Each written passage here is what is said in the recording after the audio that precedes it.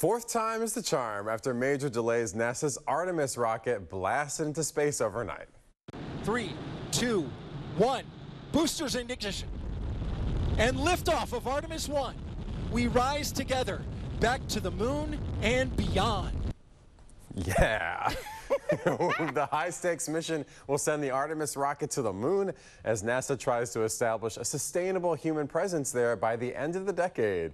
ABC 7 News reporter Ryan Curry is in the newsroom now. And Ryan, you just spoke with NASA about this mission. Yeah, good morning, Reggie. Such a cool moment for them as they once again start a project designed to put humans back on the moon after that historic Apollo mission back in the late 60s, early 70s.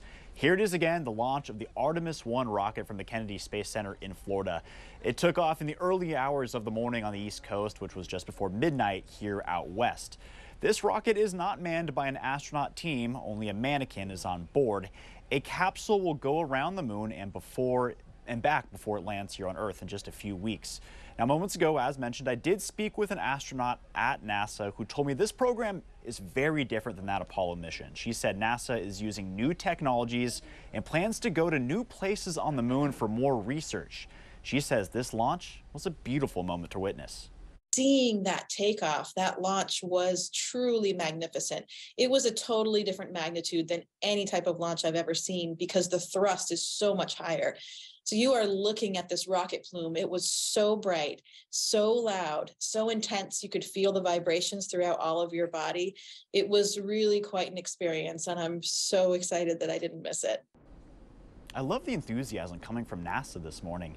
Meir also mentioned that they hope to connect, collect enough data that will help NASA plan for future missions. Artemis 1 was delayed several times due to weather and issues on the launch pad, but now it is on its way to the moon. And earlier, Vice President Kamala Harris tweeted congratulations to NASA and our private sector and international partners on the launch of Artemis 1 today. America is charting a path back to the moon. This is a landmark moment for our nation and our world. Now, the next Artemis mission, which is designed to take about four astronauts to the moon, is not expected to begin until 2024 at the earliest. Now, Meir says they hope to collect enough data from this mission that will hopefully give NASA more information about what it takes to one day send humans to Mars. Very exciting. In the newsroom, Ryan Curry, ABC 7 News.